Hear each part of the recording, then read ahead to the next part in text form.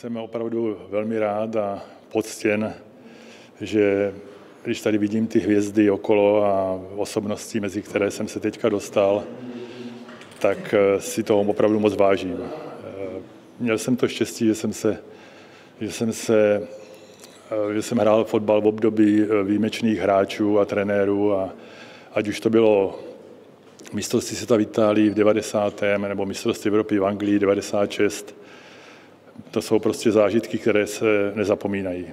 My jsme byli realisti, že už to jenom, že jsme se tam dostali do toho finále, jako byl opravdu výjimečný úspěch a vidíme to teďka s odstupem času, co jsme všechno dokázali, protože jsme tam odjížděli jako vyložení outsidři a, a proto, proto opravdu to byl i, i pro, přes tu prohru e, mimořádný úspěch. Tak Miroslav Karlec samozřejmě je legenda.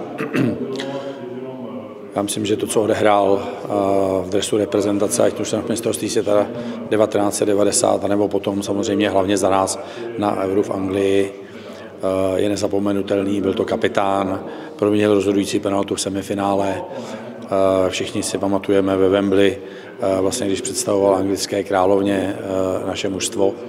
Eh, takže jsem rád, že jsme ho dneska mohli uvést tady do síně slávy. Eh, ta hvězdu, tu hvězdu tady má naprosto, naprosto oprávněně, no a samozřejmě v jeho stopách jde jeho syn, takže jméno Karle zůstane zapsáno v historii českého fotbalu. Všichni vzpomínají na to finále ve Wembley. Eh, pro nás samozřejmě to, že jsme prohráli zlatým gólem, mělo trošku pachuť, ale já nezapomenu na ten zápas v semifinále, kdy vlastně proměnil Míra tu rozhodující penaltu s Francií a tím vlastně nás, nás posunul. To byl jako okamžik, který mám v rytej paměti nejhloubějíc.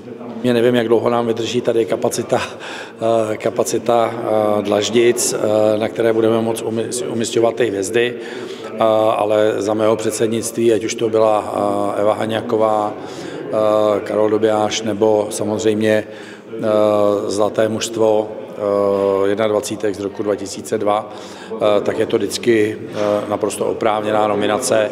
Konec konců prochází to schvalovacím procesem výkonného výboru a um, budu se těšit na další, další hvězdy, protože je dobře, že si připomínáme tu historii.